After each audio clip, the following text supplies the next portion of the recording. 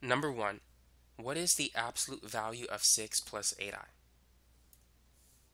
The absolute value of 6 plus 8i is equal to the square root of 6 squared plus 8 squared. 6 times 6 is 36. 8 squared, which is 8 times 8, that's 64. 36 plus 64 is 100, and the square root of 100 is 10. So therefore, D is the right answer. Number 2. Simplify the following expression. So go ahead and try this problem. So first, let's distribute 5.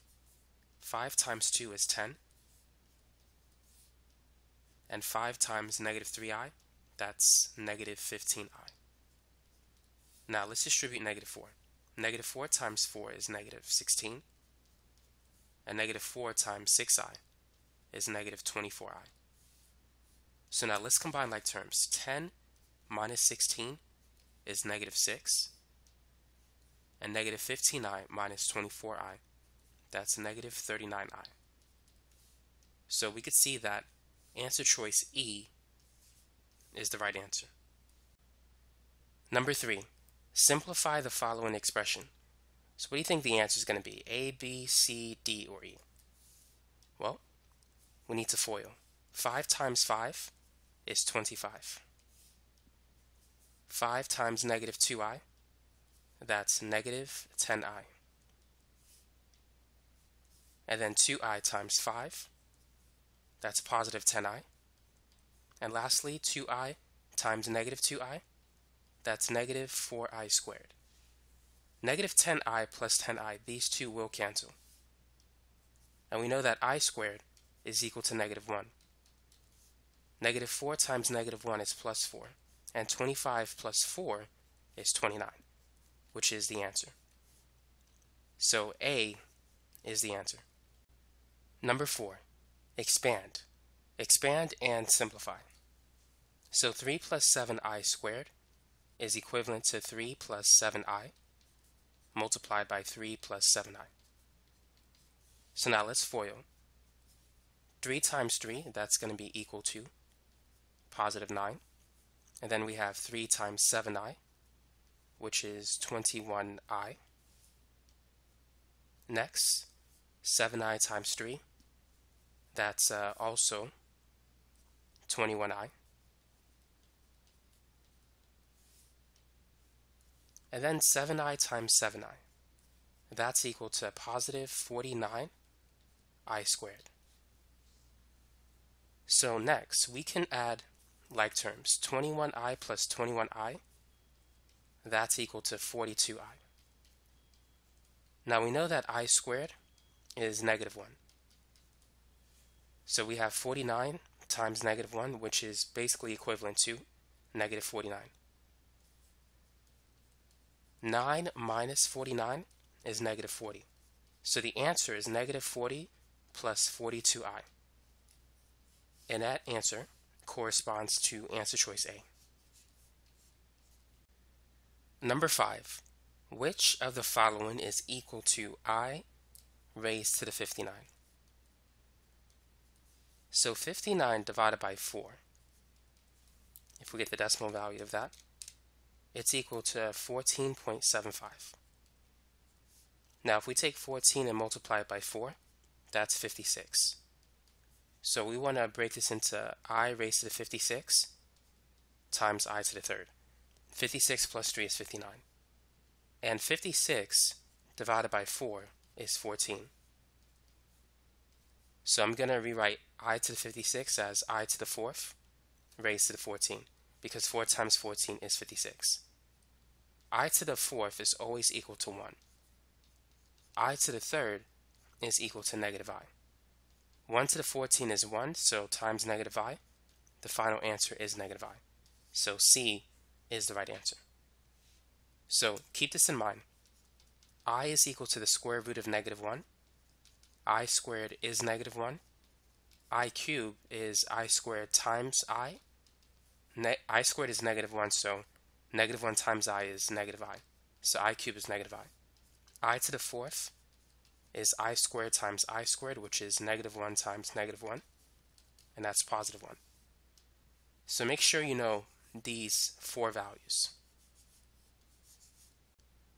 Number 6. Simplify the expression shown below.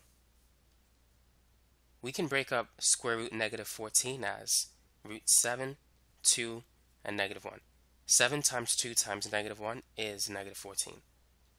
7 times 3 times negative 1 is negative 21. Now we can combine the square root of 7 times the square root of 7.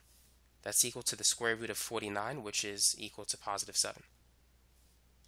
The square root of 2 times the square root of 3, that's equal to the square root of 6. And the square root of negative 1 is i, so we have two of them, or i times i i times i is i squared, and i squared is equal to negative 1. Negative 7 times negative 1 is positive 7. So the final answer is positive 7 root 6. Number 7. Rationalize the denominator and simplify. So the first thing we need to do is multiply the top and the bottom by the conjugate of the denominator. The conjugate is going to be 3 minus root 2i instead of 3 plus root 2i. You have to change the sign. So on top, we need to distribute the 9. 9 times 3 is 27, and 9 times root 2i is just 9 root 2i. On the bottom, we need to FOIL. So 3 times 3 is 9, and then we have 3 times negative root 2i. And then root 2i times 3, that's positive 3 root 2i. And then finally, square root 2i times negative square root 2i. The square root of 2 times the square root of 2 is 2. And we have a positive times a negative, so it's going to be a negative. And then i times i is i squared. Now the two middle terms, negative 3 plus 3, they will add to 0. And negative 2i squared will become positive 2, since i squared is negative 1. And 9 plus 2 is 11. So the final answer in a plus bi format, it's 27 over 11 minus 9 root 2 over 11 times i. And so that's it. Number 8. What is the absolute value of 5i raised to the 12th power minus 3i to the 19th power? Whenever you want to find the absolute value, you need to get it in a plus bi format. So let's simplify. i to the 12 is basically i to the 4th raised to the 3rd power. i to the 19th is i to the 16th times i to the 3rd. Now we know i to the fourth is 1. And i to the 16 is i to the fourth raised to the fourth power. i to the third is negative i. So this is going to be 5. And then this is 1 to the fourth, which is just 1. So we have 5 minus 3 times negative i, which is 5 plus 3i. So now that we have it in a plus bi format, we can now find the absolute value. So the absolute value is going to be the square root of 5 squared plus 3 squared. 5 squared is 25, 3 squared is 9. 25 plus 9 is 34. So the answer is the square root of 34. Therefore, B is the right answer. Number 9. Simplify. In order to simplify this expression, we need to multiply the top and the bottom by the conjugate of the denominator which is going to be 4 plus 3i. Don't forget to change the sign.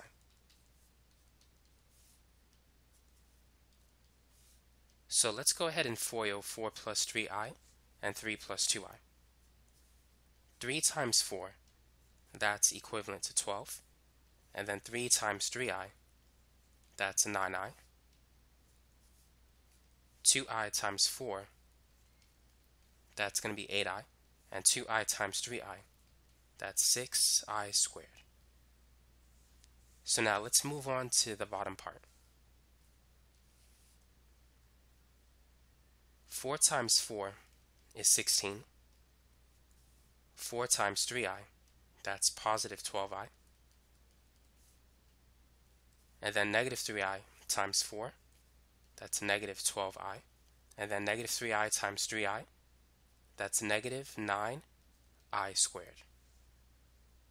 So on top, we can combine 9i and 8i. 12i and negative 12i will cancel.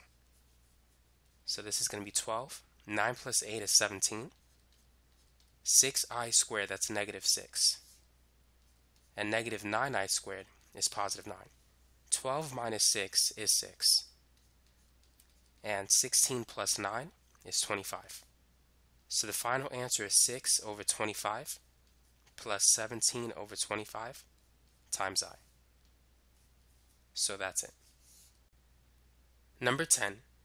Using the expression shown below, what is the value of x plus y? So how should we begin?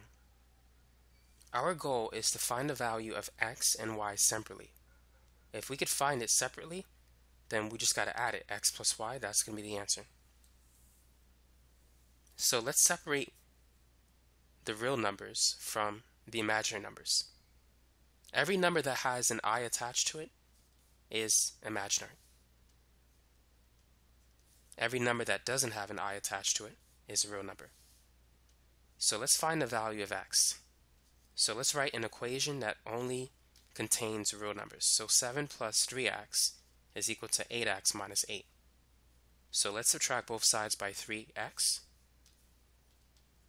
And let's add 8 to both sides.